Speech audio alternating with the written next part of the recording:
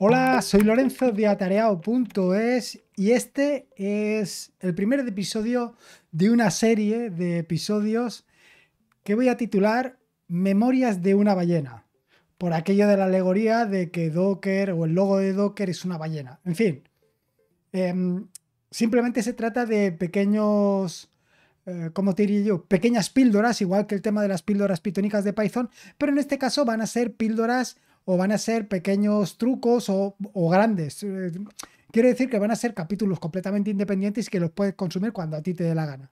Este va a servir de introducción, pero aquí, eh, en contra de lo que he hecho en, el de mm, historias de un pitónico, aquí voy a ir directamente a contarte un pequeño, una pequeña técnica o un pequeño truco, o, bueno, no es truco porque eh, simplemente se trata de gestionar las redes gestionar las redes en Docker. Y esto es algo realmente importante para olvidarte por completo de lo que son los... Eh, las IPs. Es decir, en lugar de trabajar por IP, lo suyo es trabajar por nombre del contenedor. Y de esta manera te olvidas por completo de lo que estás haciendo. Quiere decir que no te tienes que ir preocupando. Así que voy directo al turrón. Te voy a enseñar un poquito cómo hacerlo para que veas tú también. Vamos, esto es un máster de redes para Docker. Me voy a meter en el servidor. Ya estoy en mi servidor y aquí lo que voy a hacer va a ser crear una red, ¿vale? Voy a crear mkdir, eh, mkdir no, perdón, docker network create y le voy a llamar red. Ahora si hago un docker network ls, vas a ver que tengo una nueva red que es del tipo bridge y que se llama casualmente red. ¿Vale? Ahora lo que voy a hacer es lo siguiente, voy a hacer docker run menos menos detach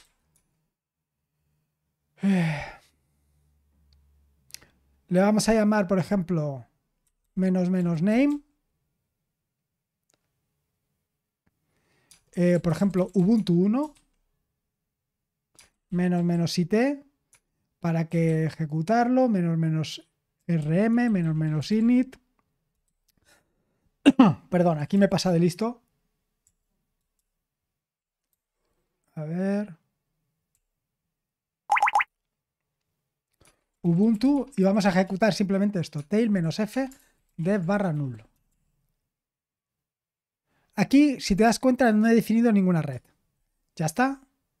Y ahora si hago un docker inspect ubuntu 1, si te das cuenta, ya tengo aquí que está en la red 170, bueno, perdón, en la IP, esta IP, ¿vale? Y ahora voy a hacer una cosa. Voy a hacer un... Voy a hacer un, lo siguiente, un docker, lo mismo que he hecho ahora, en vez de name 1 le voy a llamar name 0 menos it y en vez de esto lo que voy a hacer es ejecutar un sh. Y aquí no lo voy a poner en detach, claro. De esta manera me voy a meter dentro de este contenedor. Ya estoy dentro del contenedor, si te fijas. Si ahora yo hago un host name, me dice si hago un IPA. Bueno, IPA no existe. Voy a ver si existe ping. Digo ping. apt update.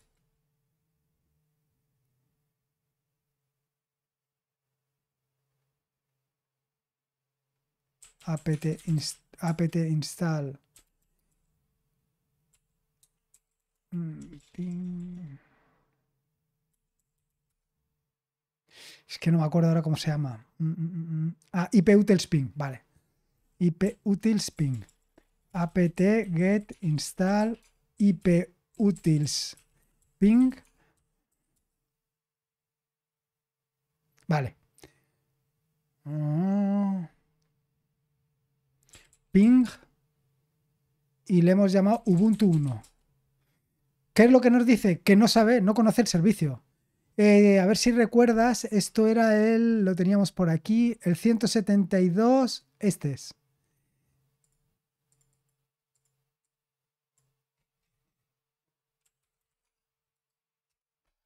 Sí que llega porque, eh, o sea, sí que llega de esta manera, ¿vale? Vale, pues vamos a salirnos y ahora vamos a hacerlo correctamente docker ps, docker stop ubuntu, Ubuntu 1, perdón. Docker PS. Vale. Y ahora vamos a hacer lo siguiente. En lugar de hacerlo como lo hemos hecho hasta ahora, lo que vamos a hacer es Ubuntu 1, pero vamos a añadir, espérate, voy a hacer esto un poco mejor, ¿vale? Vamos a añadir un nuevo parámetro que sea network y le hemos llamado red. ¿Vale? Ya tenemos el 1, voy a crear varios. Dos. Me creo dos. Y ahora me voy a crear un tercero, que ese tercero lo único que va a hacer es que me va a permitir... Bueno, le vamos a llamar cero. Y así ya. Ahora ya estamos dentro. Eh, otra vez tengo que hacer lo mismo. sudo, eh, sudo no. apt-get install ping. No era ping, pero como no me acuerdo. Ping.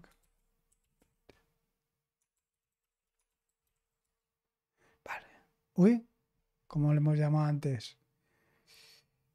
IP ping. Vale. Get update. Le hemos llamado el 1 y el 2.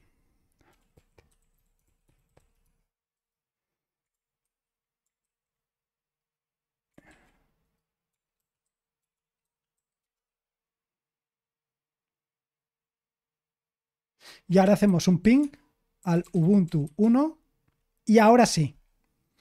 Ahora sí que hemos dado sin tener que acordarnos de la red. Y lo mismo con el ping Ubuntu 2.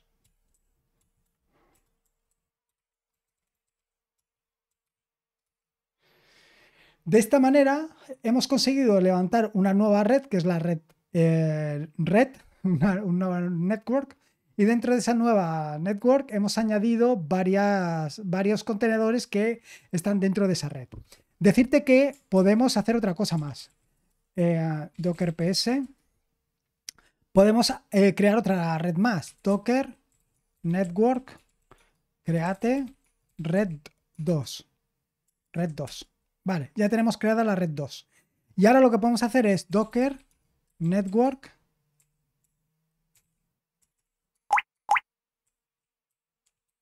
Attach Ubuntu 1 a red 2. A ver. No. Docker, container. Eso es. Docker Connect, perdón. Docker Network Connect. Red 2. Me he equivocado, no era touch, es Docker Connect Red 2 a Ubuntu 1 y Docker Connected lo mismo a Ubuntu 2. ¿Vale? Y ahora vamos a hacer, eh, a ver, control L, y ahora lo que vamos a hacer es esta y vamos a mantenernos en el red 2. A ver. No, vamos a crear otra. Eso es.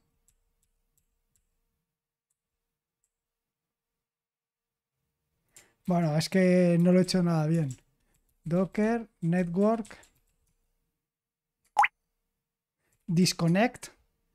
Y ahora eh, desconectamos Red 2, Ubuntu 1. Vale. Y ahora, si hacemos un Docker inspect eh, Ubuntu 1, miramos el contenedor 1, verás que solamente tiene la red 1. Red y si miramos el contenedor 2, verás que tiene los dos contenedores. Si ahora em, lanzamos uno nuevo que solamente esté en red 2, si hacemos un ping que no existe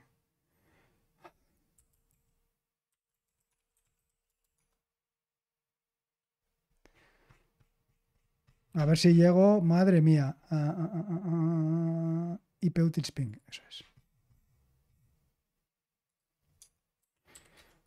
Vale. apt get update. Primero hay que actualizar los repositorios y luego una vez actualizados los repositorios entonces sí que se puede hacer algo, pero mientras no lo tienes actualizado no puedes instalar, claro.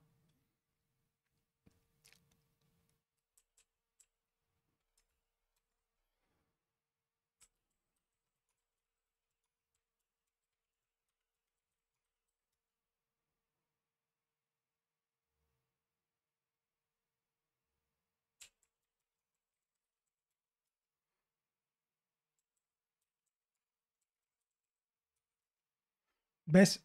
Desde aquí eh, sí que resolvemos el 1. Y ahora voy a hacer otra cosa. Vamos a ver. Eh, ping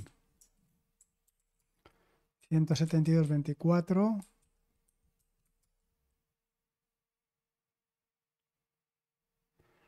Si te das cuenta, no lo sabe resolver, pero sí que llega.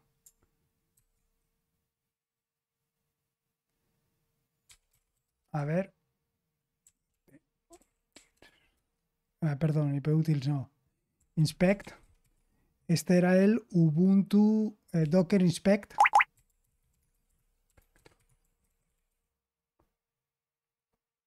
1.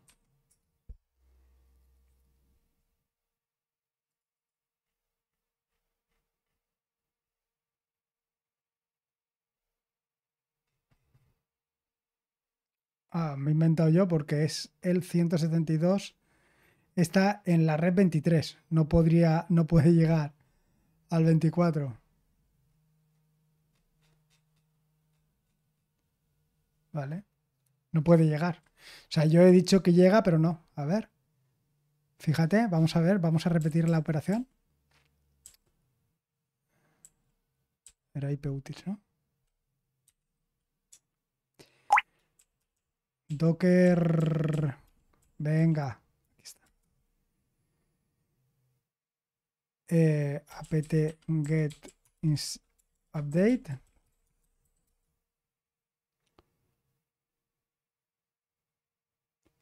apt get install ip utils-ping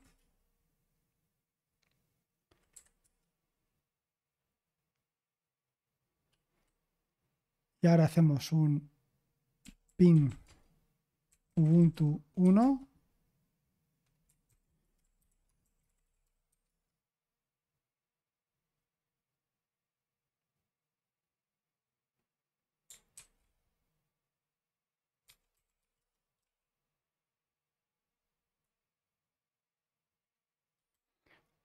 ¿vale? A través de la red 2.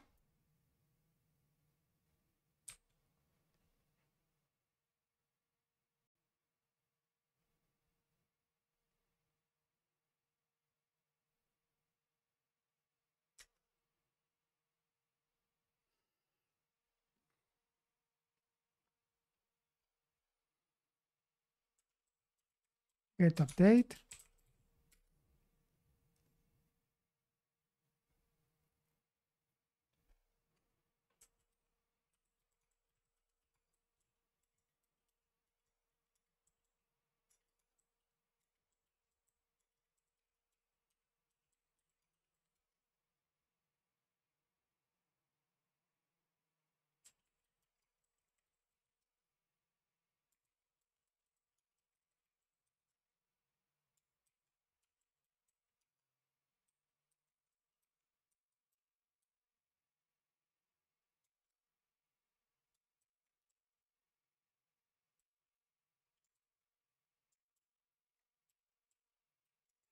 La otra estaba en ping 172.23.0.2. Aquí sí que no resuelve. Está en otra red distinta. Fíjate. El, este, el Ubuntu 1 está aquí. Esta es la otra IP. A ver.